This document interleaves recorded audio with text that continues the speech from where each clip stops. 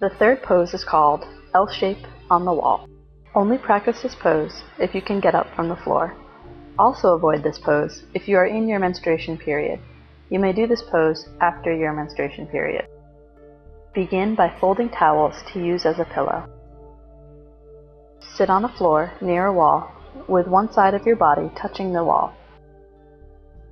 This side should be your non-operational side. Bend your knees. Bend your operation side arm and protect your breast. Bring your outside shoulder to the floor. Using your upper hand, bring your hips against the wall.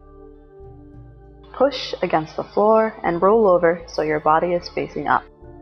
Make sure your buttocks are against the wall, as if you are sitting on the wall. Bring the pillow under your neck and head. Straighten your knees with your legs on the wall. Both arms are on your side. If you are uncomfortable at your shoulder, place your palms on your belly. Stay in this pose from 3 to 10 minutes, as long as you feel comfortable.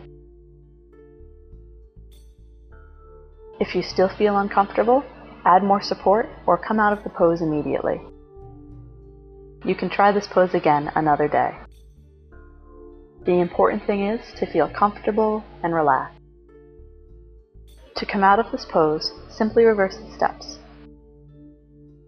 Roll back into the upright position like so. If you feel comfortable with the pose, you can add more support. Start with a folded towel for support. It should be about 15 inches wide. Sit on the support like so. Then roll over. Your back is on the floor, hip is on the support, and sitting on the wall. As you feel better and better with this pose, go for even more support. Use a bolster pillow instead of a towel.